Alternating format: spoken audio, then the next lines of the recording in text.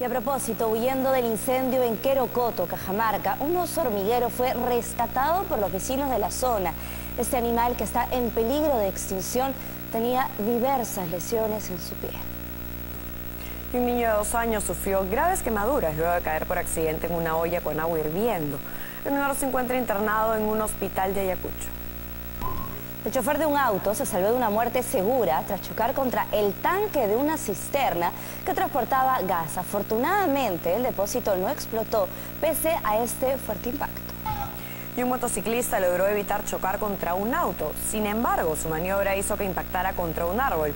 Este le cayó encima, pero afortunadamente solo tuvo heridas leves. En plena vía pública, un taxi se incendió generando pánico entre los transeúntes.